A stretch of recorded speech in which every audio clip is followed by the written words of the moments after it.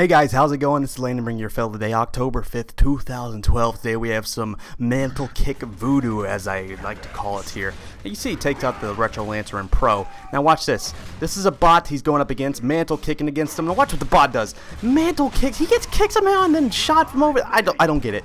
That's, that's not even a fail on Autumn's part. That's just a fail on science.